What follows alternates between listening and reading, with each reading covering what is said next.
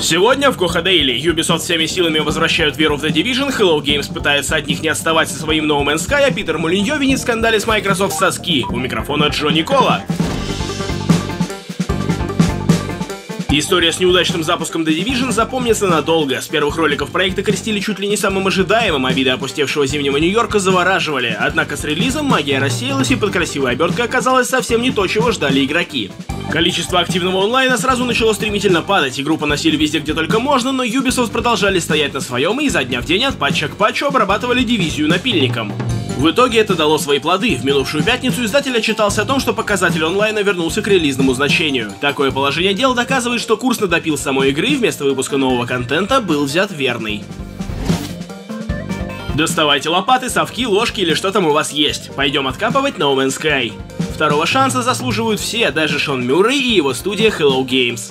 На выходных появилась информация, что главное разочарование года готовится к первому большому обновлению, которое должно заложить фундамент для будущих нововведений, а также внести некоторые новшества и разнообразить геймплей уже сейчас.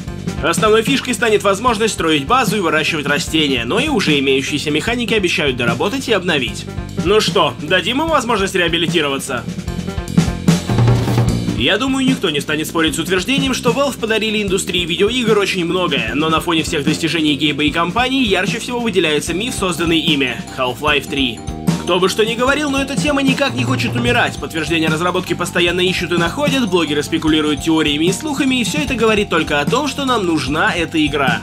Возможность заявить об этом еще раз теперь предоставила сама Valve. Одновременно со стартом осенней распродажи они запустили премию Steam, где каждый может выдвинуть любую игру из магазина в нескольких номинациях, и среди них затесалась одна, которую должны назвать сами игроки.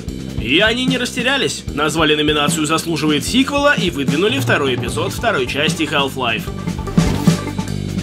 Главный мечтатель игровой индустрии Питер Молиньо в очередной раз делает то, что у него получается лучше всего, обвиняет в своих неудачах других.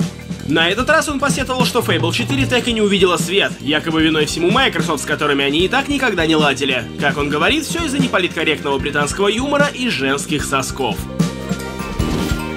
Ну что, время дичи?